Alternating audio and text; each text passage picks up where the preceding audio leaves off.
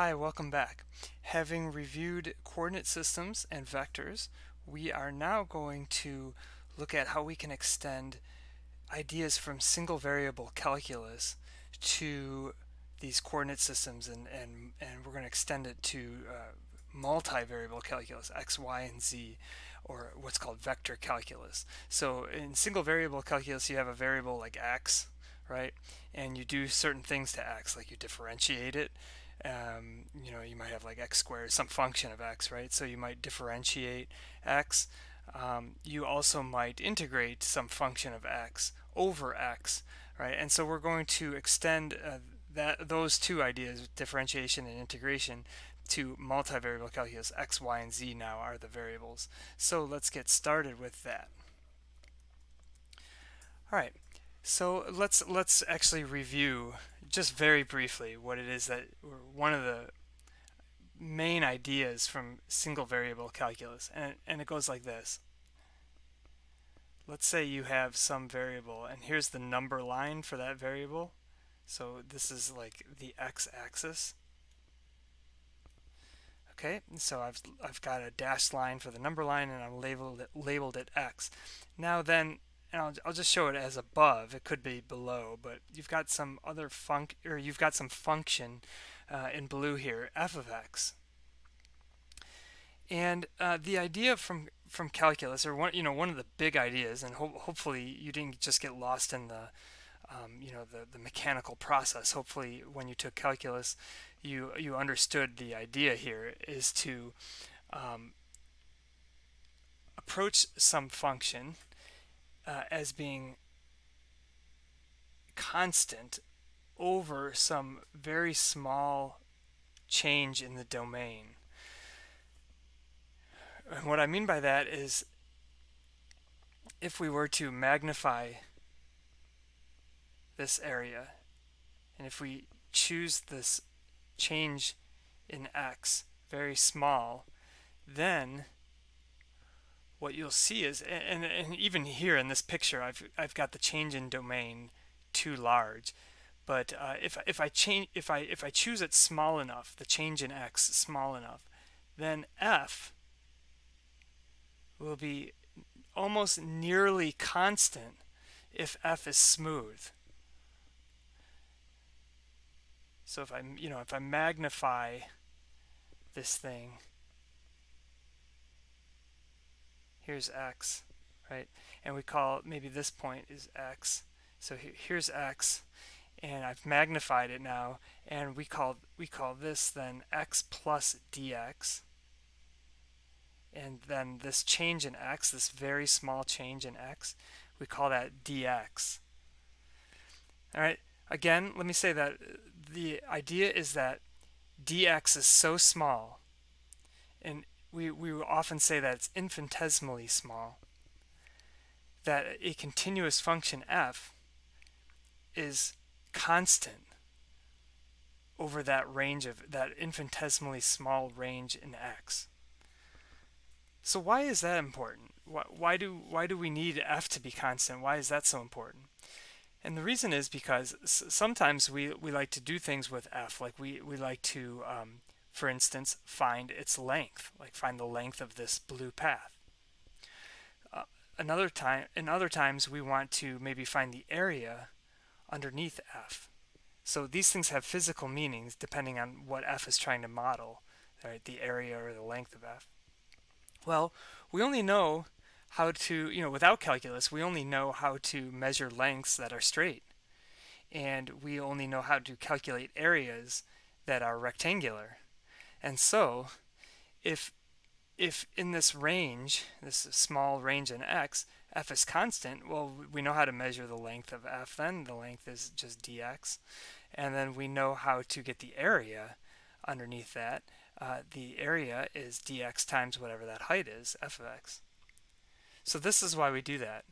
And then uh, then expanding on that idea, once you, once you calculate that thing or that quantity for this small range in x, then you add you add them all up over your curve, and that's that adding of, of them all up is called integration.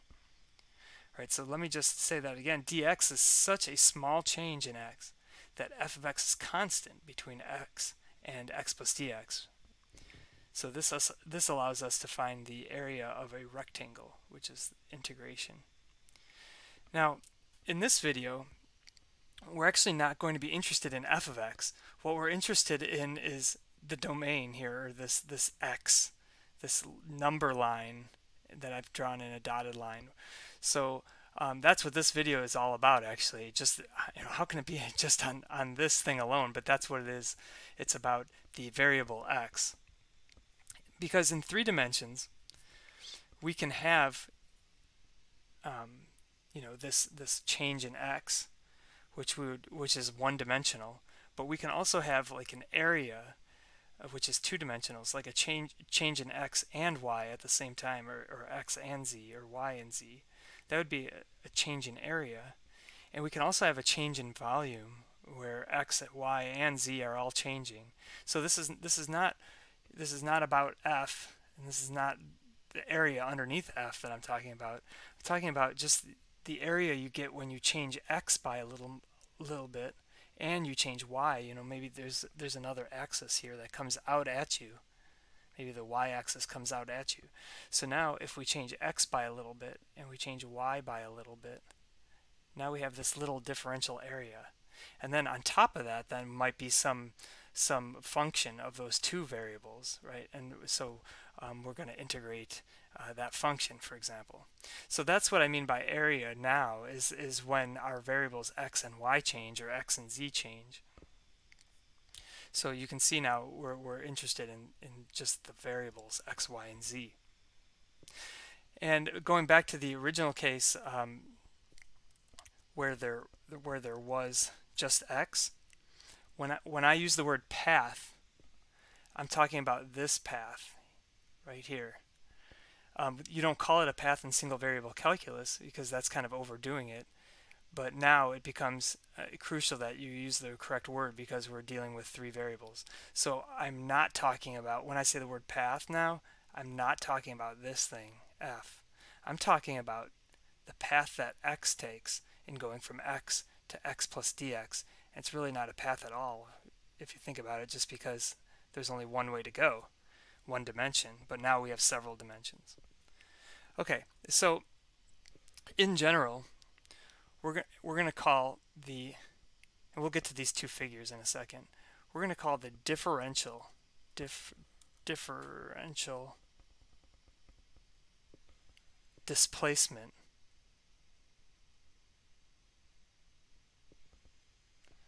we're going to call that dl and L displacement is a vector, right? And so uh, the differential dl vector. And that's going to be equal to, so now we're talking three dimensions. Our, all three variables can change. So for instance, we can have a, a small change in the x direction. So that's represented by dx is the small change. And then we show in the x direction because this is a vector now. And we can have a small change in the y direction times a y like that and we can have a small change in the z direction like this. So this is our differential displacement in Cartesian coordinates. And that should be straightforward now. If that's just an extension of single variable calculus. Now, let me draw the xyz plane. So here's x, here's z, here's y. Let's suppose, um, let's suppose for right now, both, um, I guess it's easier for me to show if, let's say z changes, like that, and y changes. So we have a very small incremental change in z, dz, and we have a very small incremental change in y, dy. So now we have an area, right? And we're going to call this thing the differential surface area.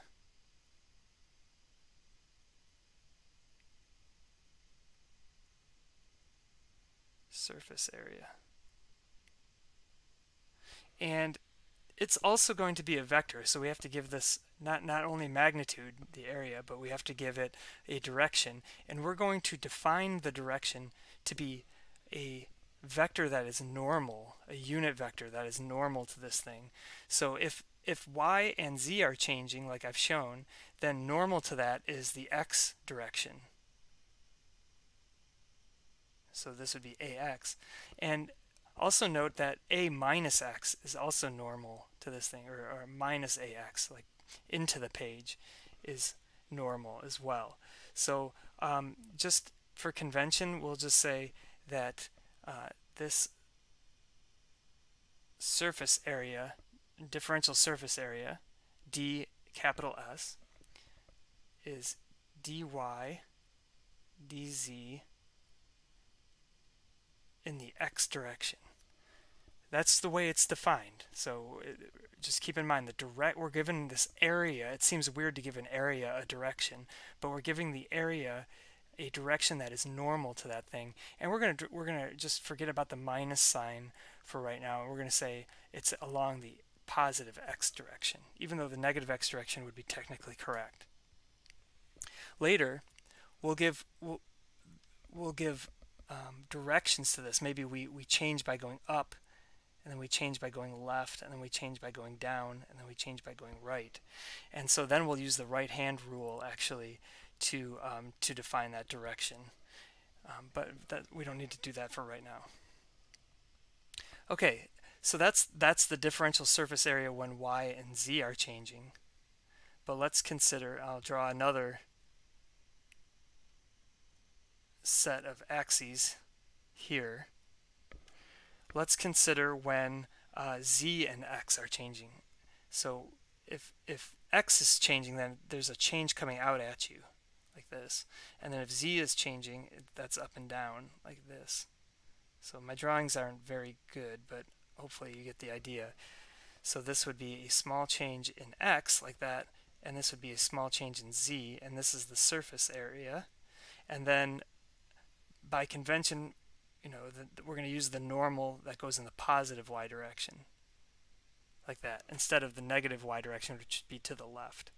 And so this surface area, or this differential surface area, ds now, is dx, a small change in x, times a small change in z, right? Just think about how you calculate area, dx dz, and then we're giving it the direction ay. So notice the direction is the is the, um, the the variable that we're leaving off in the area calculation, right? We take dx times dz, so what variable is left? y, so the direction is ay. And then finally, um, you know, we can continue playing this game. We have x, z, y again right? And we can say that maybe y and x are changing. So when x changes, it comes out at you like this. When y changes, we go this way. So we have something like this. Here's the area. How do I get that area? I take the, the, the length times the width. So that area is the length times the width, dx dy. And then again, what variable is missing? z and so we're going to say that we're going to use positive z like this. We're going to define the surface area vector, the surface area vector, or the differential surface area vector like that. Okay? So, in, again, in general, uh, if the differential elements make area ds, the differential surface area is ds equals ds, like the magnitude, times a normal vector, right? So in, in all three cases, we, we, we had a normal vector. All right, and finally, you can imagine, I'm not going to draw it now, I've got too many drawings on the screen, but you can, you can imagine uh, if x and y and z all change, then we would have a cube and we would call that the differential volume.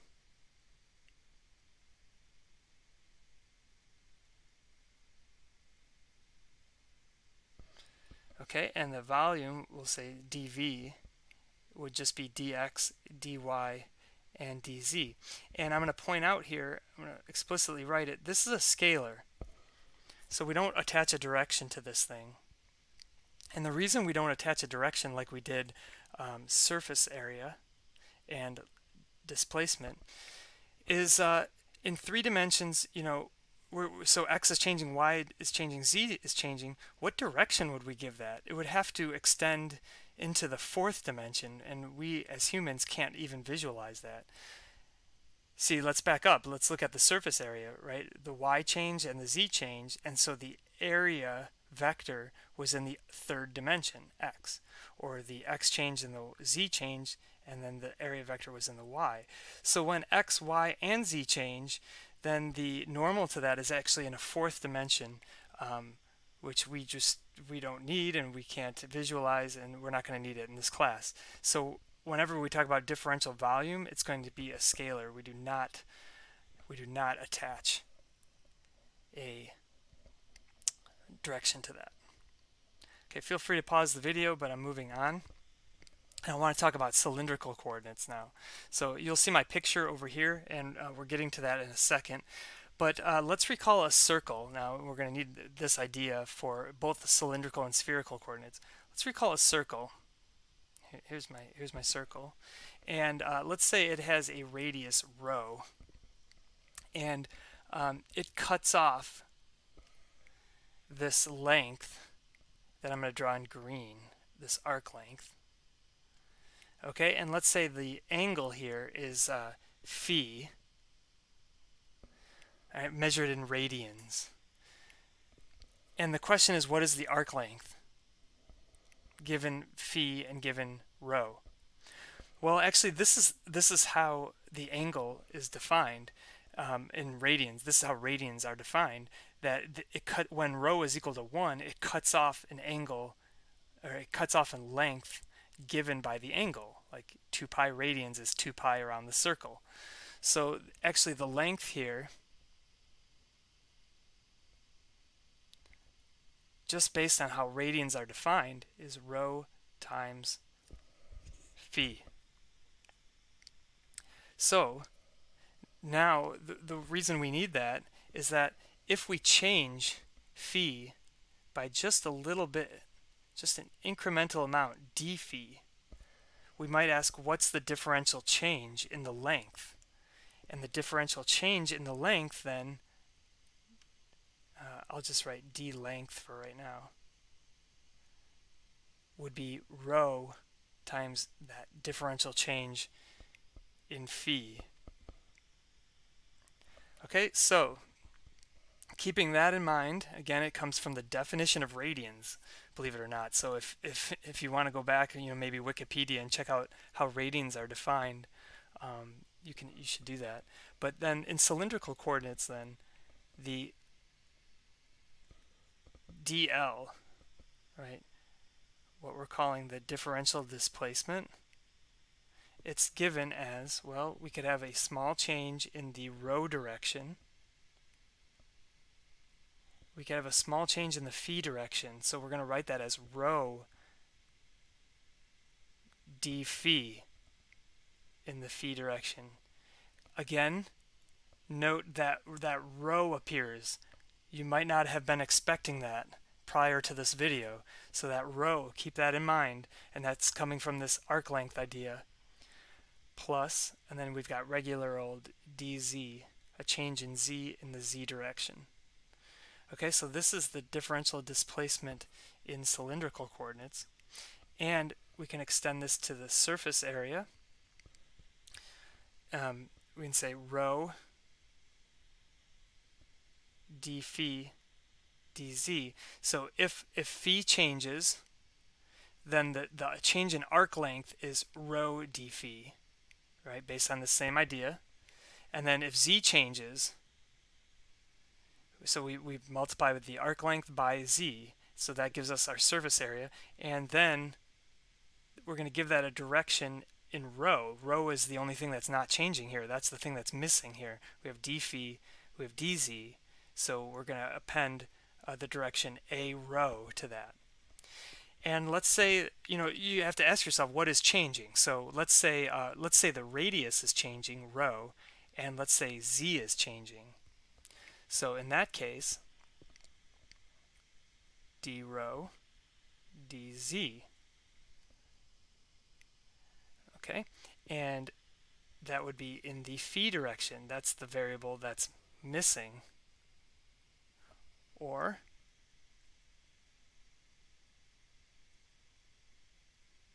let's say we we have rho that's changing and phi that's changing.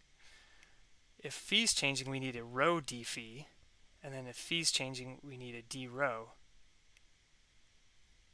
Okay, so then that would be in the z direction.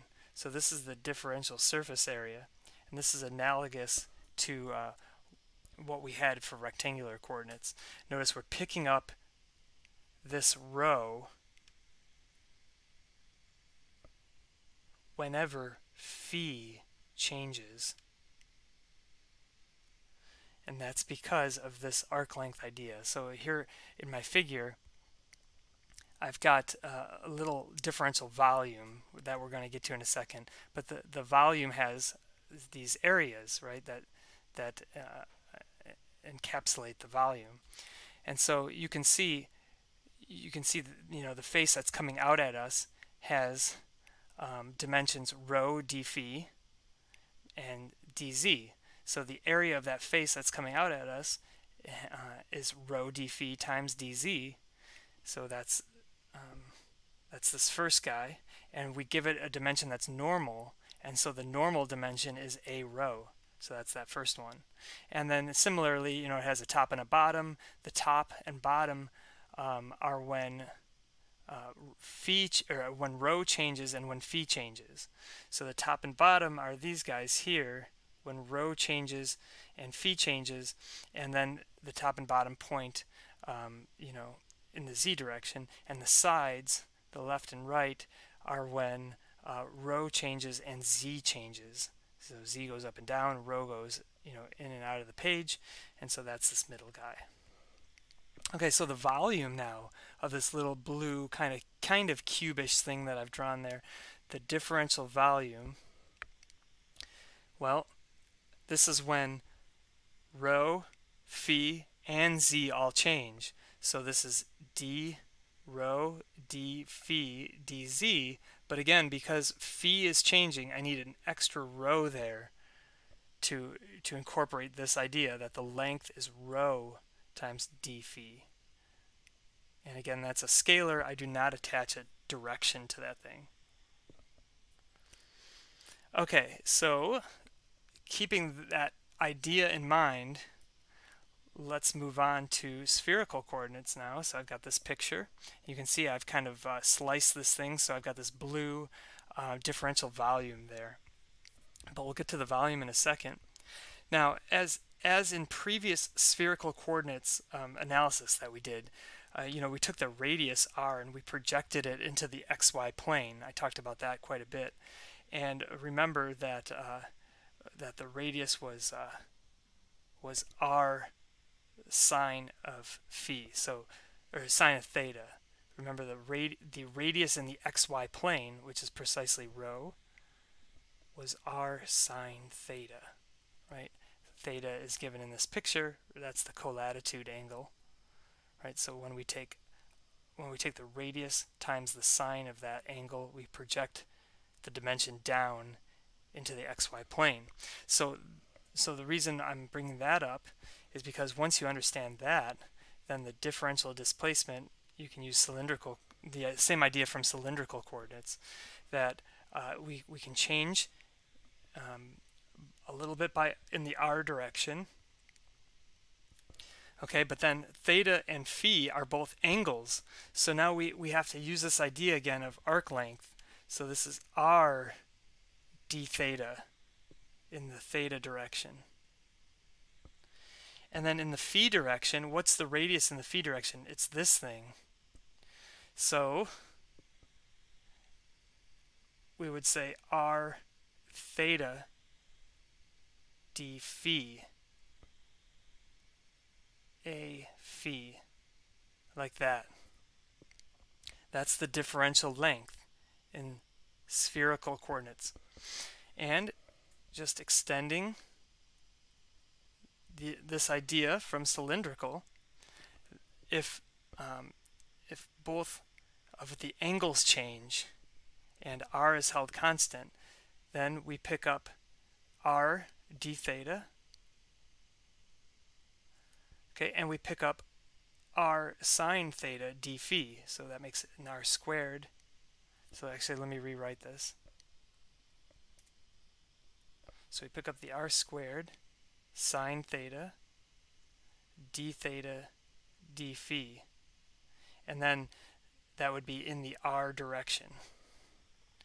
Okay, so that's when r is constant. So that's one of the faces on this, uh, this little differential volume that I've carved out. If we hold um, theta constant and we let r change and phi change, so r and phi change. Then we've got r sine theta dr d phi in the theta direction. And finally, if we hold phi constant and we let r and theta change, we've got r dr d theta in the phi direction. So this is the differential surface elements or the differential surface areas in spherical coordinates. So these would define the six sides of this thing that I've carved out. Then finally the differential volume. So if all three of these things change, then I just multiply them all together. So I pick up an r squared and I pick up a sine theta and and then I've got dr d theta and d phi. And again there is no direction there. Alright so now that we have the the, the basic um, differential length, area, and volume. Remember, this is all about the, how the coordinates change. This is not about integrating yet or differentiation. We did no differentiation or integration here. So we're going to use these concepts. This is the dx part of single variable calculus. So now we've got dx and we've got dl and we've got ds and we've got dv. So now we're going to, we're ready to start integrating and differentiate differentiating.